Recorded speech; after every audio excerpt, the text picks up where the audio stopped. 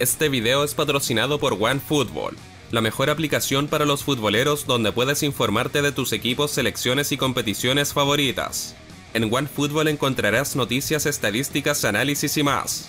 Además es una aplicación 100% gratuita disponible para Android y iOS. Ya sabes, descarga OneFootball con el link que te dejo abajo en la descripción del video.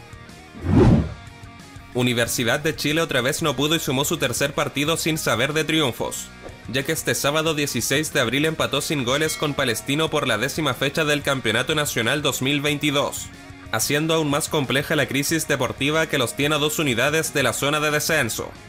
Este pobre empate no les ayuda mucho a los dos equipos.